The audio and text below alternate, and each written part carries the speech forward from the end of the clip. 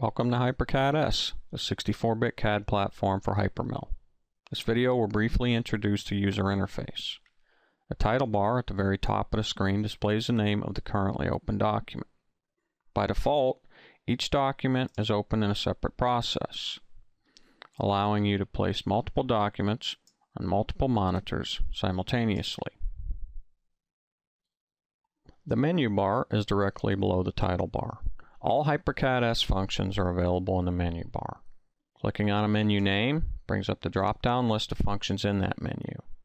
An arrow to the right of a function indicates further subfunctions. Then we have the permanent upper and lower toolbars. The functions in these toolbars cannot be changed, but you can control their size by hovering over one of them and holding the control key while scrolling with the mouse wheel. The upper toolbar consists of some of the most commonly used functions, while the lower toolbar consists of graphic properties and snap controls. Now we'll move on to tabs, tools, and toolbars. These can be activated or deactivated by right-clicking to the right of the menu bar. This brings up the list of tools and tabs at the top and toolbars at the bottom. We'll start with the three tools in the list, CAD tools, hyperMILL tools, and tab tools. CAD tools and hyperMILL tools are groups of large icons representing common CAD and hyperMILL functions.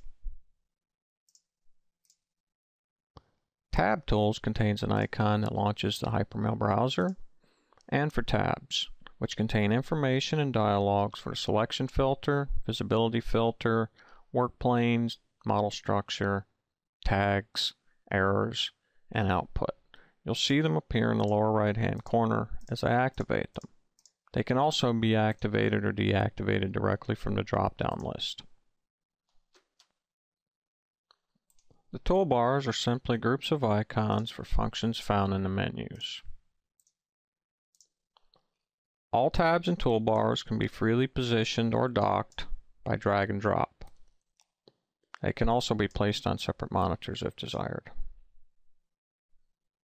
If a tab is repositioned, double-clicking on its name will put it back in its previous location. Any geometry displayed in the graphics area can be manipulated with the mouse and keyboard. The view is rotated by dragging with the right mouse button. The view is panned by holding the control key and dragging with the right mouse button. And the view is zoomed by holding the shift key and dragging with the right mouse button or by using the scroll wheel on your mouse. And the tilt view or 2D rotate is done by holding the Alt key and dragging with the right mouse button. hyperCAD-S also supports the use of a 3D mouse.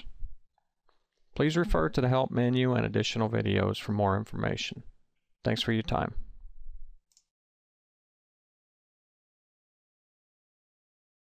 You.